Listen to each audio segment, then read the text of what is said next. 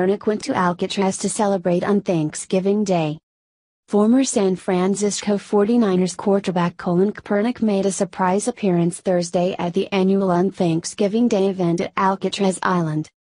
The annual gathering, formerly known as the Alcatraz Indigenous Peoples Sunrise Gathering, began in 1975 to commemorate the occupation of Alcatraz from 1969 until 1971 by 89 Native Americans. The demonstrators had demanded at the time that the former prison island be turned into a Native American cultural center and school, according to the San Francisco Chronicle. Our fight is the same fight, Kaepernick told the crowd amid the crowd's dancing and chanting. If there's one thing that I take away from today and seeing the beauty of everybody out here, it's that we're only getting stronger every day, we're only getting larger and larger every day. I see the strength in everybody, he added. The dancing, the rituals, that is our resistance. We continue to fight. We continue to fight for justice. We fight for our freedom, and we continue on that path. Prior to a 2016 preseason game, Kaepernick became the first NFL player to take a knee during the national anthem. Since then, the protests have taken on a life of their own, with dozens of NFL players kneeling during the national anthem before games. Kaepernick told reporters in 2016 he wasn't kneeling to disrespect the flag. Rather, he was kneeling to stand with the people that are being oppressed.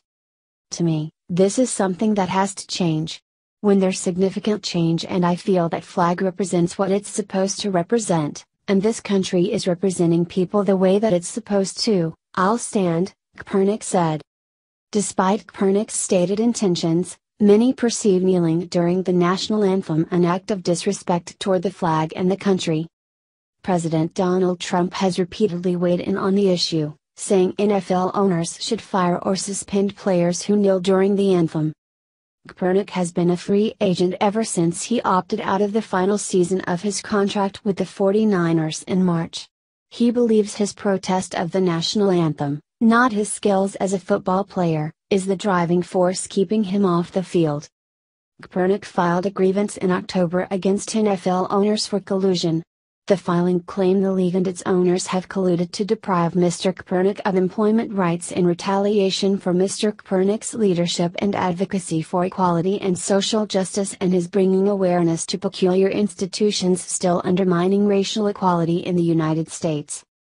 Colin Kaepernick's goal has always been, and remains, to simply be treated fairly by the league he performed at the highest level for and to return to the football playing field, his attorney said in a statement. A statement.